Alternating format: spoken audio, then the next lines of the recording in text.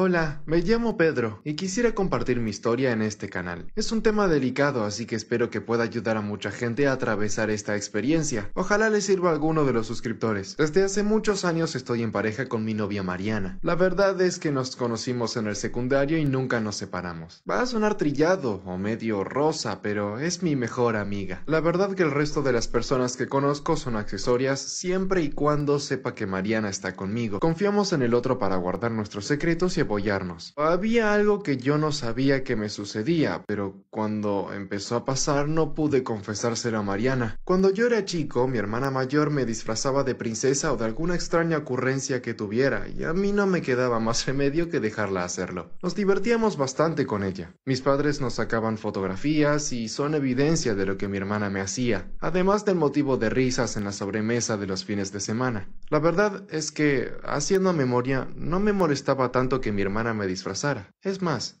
me sentía bastante a gusto con la situación. Lo mismo ocurrió durante mi adolescencia, cuando tomaba clases de teatro. Siempre que faltaba alguien para un papel femenino, yo me ofrecía y me disfrazaba para parecer la actriz que hiciera falta. Todos celebraban mi locura y desprejuicio, porque se suponía que sucedía en un espacio contenido. No se corría ningún riesgo. Pero un día Mariana me llamó por teléfono mientras estaba comprándose ropa y necesitaba saber la medida de un vestido. No tenía la menor idea de cómo pasársela y lo único que se me ocurrió fue ponérmelo y pasarle las medidas con mi cuerpo. La sensación fue embriagadora. Verme con ese vestido puesto me hizo amigarme con cosas de mi cuerpo que no percibía. La verdad sentía que me quedaba muy bien y que me gustaba tenerlo puesto. Desde ese momento me probaba ropa de Mariana a escondidas y disfrutaba de la sensación de hacerlo hasta que un día llegó antes del trabajo y me encontró con uno de sus camisones puestos. Fue tal la vergüenza que me puse a llorar y le dije que no sabía qué me pasaba y que me perdonara, que era un desastre. Ella me calmó con ternura, me abrazó, me besó y me pidió que la acompañara.